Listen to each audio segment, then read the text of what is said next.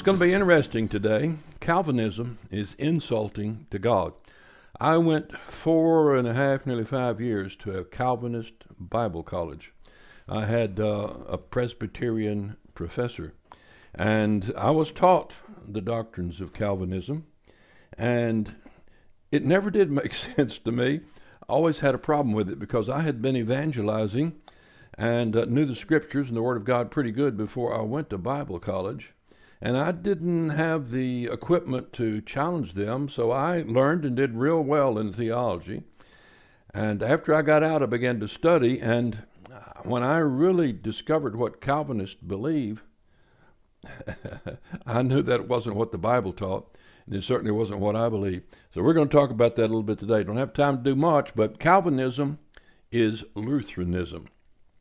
Now, why do we say that? Because Luther was before Calvin, and he's the one who wrote Bondage of the Will, and all Calvin did was formalize it in such a way and made it popularized it across Europe. So it's called Calvinism. Calvinism is Augustinianism. Luther, in his book Bondage of the Will, quotes Augustine on nearly every page, sometimes several times on a page. Uh, it's Greek and it's Roman fatalism. In other words, Augustine was schooled in the Greek and the Roman fatalism, and he syncretized and brought it over into his Christianity. It's heathen determinism, and it's the default position of fallen humanity. I used to minister to the military guys quite a bit, and every single one of them who'd never heard of God even, didn't know anything about God, came out of the depths of New York City or L.A., all of them were Calvinist. Now, they never heard of the name Calvin, but they all believe that what will be, will be. That uh, God foreordains all things, and they would say you can't die till the bullet is fired that's got your name on it. Uh, that's a Calvinist position. And then Calvinism is insulting to God. Now, B.B. Warfield, back in the late 1800s, says the system of the doctrine taught by Calvin is just the Augustinianism common to the whole body of the reformers. Warfield admits that Calvinism is Augustinianism, which goes back to the late 300s and 400 AD. Now, John Calvin said, Augustine is so wholly within me that if I wished to write a confession of my faith, I could do so with all fullness and satisfaction to myself out of his writings because Lutheranism and Calvinism are an expansion of Augustinianism. Now, Augustine, this is his picture, fourth century, was formally trained in Stoicism. You know what a Stoic is, right? The guy sits there and looks sit there and looks at you and uh, endures pain, endures suffering, knowing that he all is foreordained and nothing you can do about it. It's karma. In his early life, he believed that a meticulous, micromanaging God predetermines every detailed event in the universe.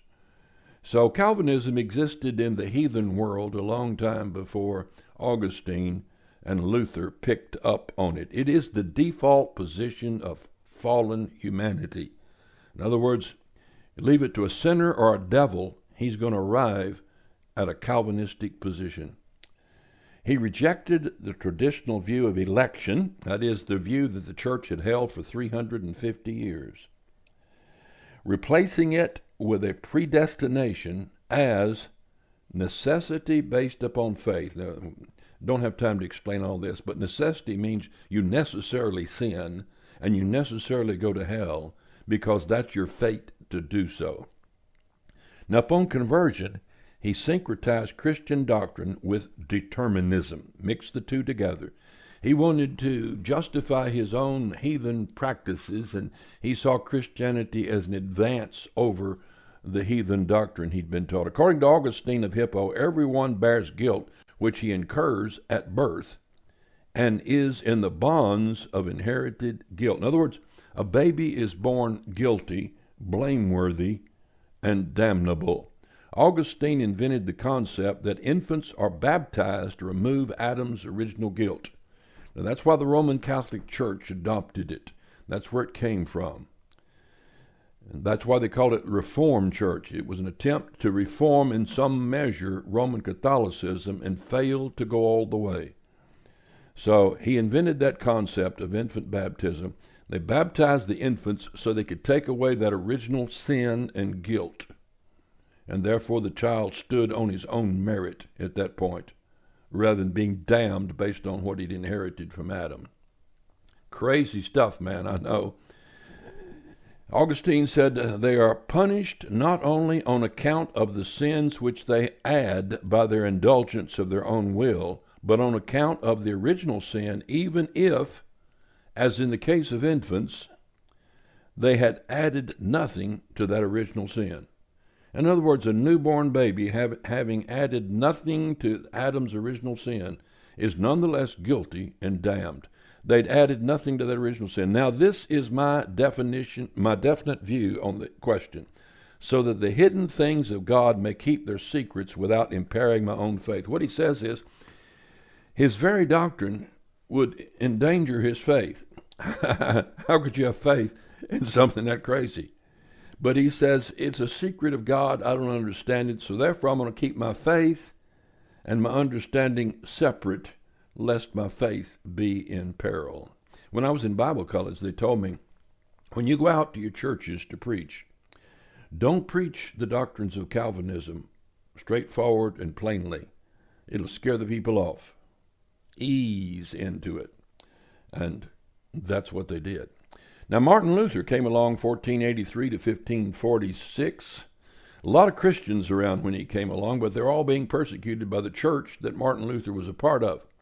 So Martin Luther saw the light on justification by faith, and he says, For if a man has lost his freedom, which he believes he has, bondage of the will, that you have no free will, and is forced to serve sin and cannot will good, that conclusion, what conclusion can more justly be drawn concerning him than that he sins and wills evil necessarily?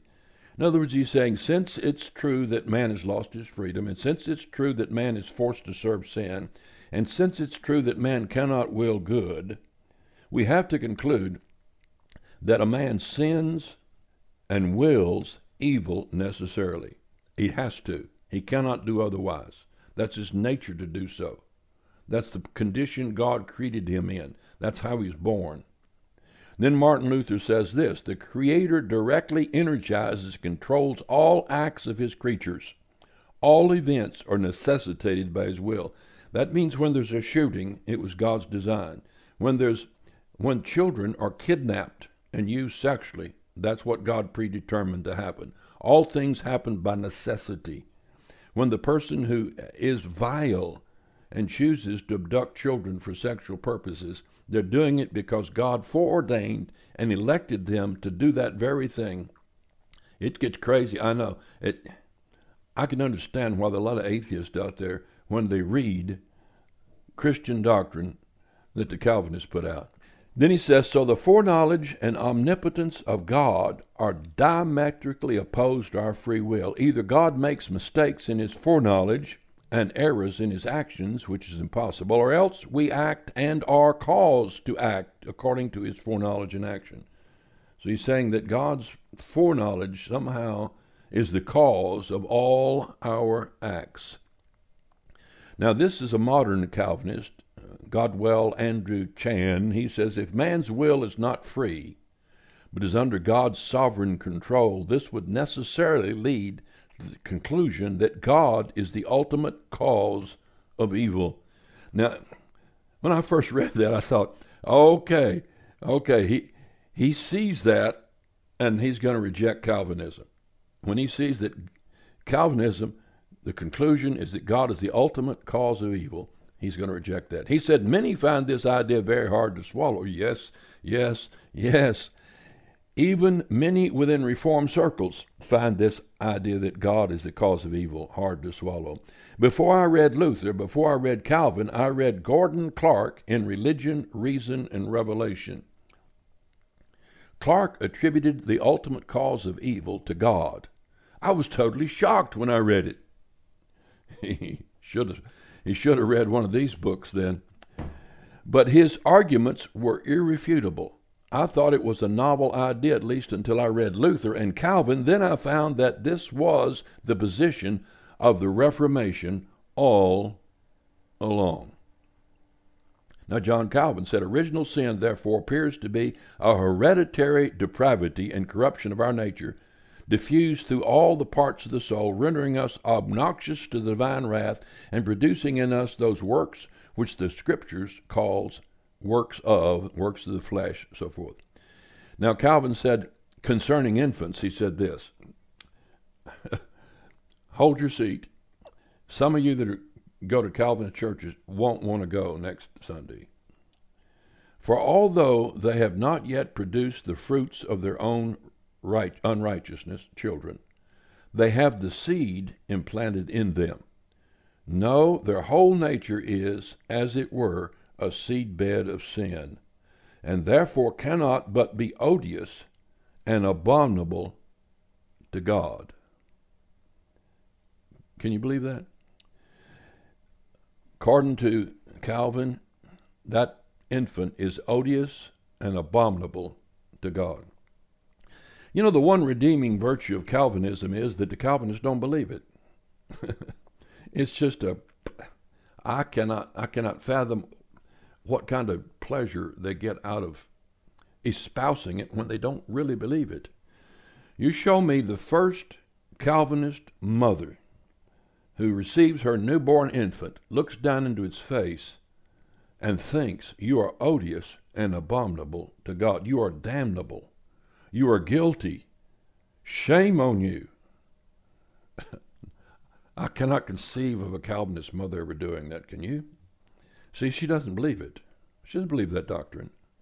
Jonathan Edwards, 1700 as a Calvinist, said, The God that holds over the pit of hell, much as one holds a spider or some loathsome insect over the fire, abhors you, and is dreadfully provoked. His wrath towards you burns like fire. That's what they think of infants as well. He looks upon you as worthy of nothing else but to be cast into the fire. He is of purer eyes than to behold, Uh, than to bear to have you in his sight. You are ten thousand times more abominable in his eyes than the most hateful, venomous serpent is in ours. There's your congregation of Calvinist sinners, according to them. Those abominable souls, those damnable souls, who were foreordained to destruction. I hate to say it, so God could get glory. God made me for hell, says the sinner in hell, and he'd be right and he'd have the best of all excuses. Jesus, on the other hand, said, Suffer little children to come unto me, and forbid them not, for of such is the kingdom of God. Uh, is the kingdom of God like abominable to something to despise? Is that what it is? He said, Verily I say unto you, except ye be converted and become as little children, ye shall not enter the kingdom of heaven. Hmm. Maybe Jesus never read Bondage of the Will. Maybe he didn't attend a Calvinist church. Maybe he didn't believe it at all. Maybe he thought that was a heathen practice going on in Rome and Greece and Athens at that time. Take heed that you despise not one of these little ones, for I say unto you that in heaven their angels do always behold the face of my Father which is in heaven. So an infant dies, doesn't go to hell. He's in heaven, beholding the face of the Father. Uh, I haven't uh, got the time to go through all the scripture in this one. We'll do that. We're coming to that. Now, next, I'm going to show you the scriptures the Calvinists use. Now, if you disagree with any of this, be sure and write me a comment, and some of you can discuss it and throw it around a little bit because uh, I'd like to see what you have to say. It will be real funny. So in the eternity past, God said, I'll create them to burn forever, and it will bring me glory. That's what a Calvinist believes. And a man looks up to heaven. God, was I created to go to heaven or to hell? Good question. Question is not, do I believe on the Lord Jesus Christ or can I be saved? The question is, am I elected or not? Charles Finney, Systematic Theology. You see, not all people have believed that. In fact, very few have. It's uh, more of a modern trend, and uh, something came down with the half Catholics. Men plead a sinful nature for the excuse. It would be a good one. And pray, what is this sinful nature? Do you mean by it that every faculty and even the very essence of your constitution were poisoned and made sinful in Adam? According to the Calvinists, yes. And came down in this polluted state by inheritance to you? According to the Calvinists, yes. Do you mean that you were so born in sin that the substance of your being is all saturated with it, so that all the facilities or faculties of your constitution are themselves sin? According to the Calvinists, yes. Do you believe this? if any really didn't think they could believe it. I admit that it if it were true, it would make out a hard case, a hard case indeed. Until the laws of my reason are changed, it would compel me to speak but openly and say, Lord, this is a hard case that thou shouldest make my nature itself a sinner, and then cha- charge the guilt of its sin upon me. God makes me a sinner and then blames me for it. I could not help saying this. The deep echoings of my inner being would proclaim it without ceasing, and the breaking of 10,000 thunderbolts over my head would not deter me from thinking and saying so. The reason God has given me would forever affirm it. But how strange a thing is this! If a man is in fault for his sinful nature, why not condemn man for having black or blue eyes? The fact is, sin never can consist in having a nature. You need to get my material on nature. Nor in what nature is, but only and alone in the bad use which we make of our nature. This is all. Our Maker will never find fault with us for what he has himself done or made. Certainly not. He will not condemn us if we will only make a right use of our powers, of our intellect, our sensibilities, and our will. He never holds us responsible for our original nature. That's in 1800s. That's what Charles Finney, the theologian, said. So, verses the Calvinists used to support their heresy. Not now, next time. In the meantime, we have a couple books. I don't make any money on this, none at all. And this is called What Love Is This by Dave Hunt. It's a really good book. And then before it was written, this one, I think Dave Hunt used inspiration from Laurence Vance, The Other Side of Calvinism. Now, I read this through carefully a couple times and marked it, and it's it's like you, you cannot believe. He quotes, quotes, quotes, quotes the Calvinist, uh, hundreds of pages quoting the Calvinist, and then he gives corresponding responses from Scripture. So, if you want something very thorough on the subject, either one of these books would do. Now, my book, Divine Design, goes in philosophically to the uh, human nature and how we arrived at it. Okay, I'm going to stop there. I got things to do, and you do too. So uh, next time we'll talk about uh, verses the Calvinists use to support their heresy. So long.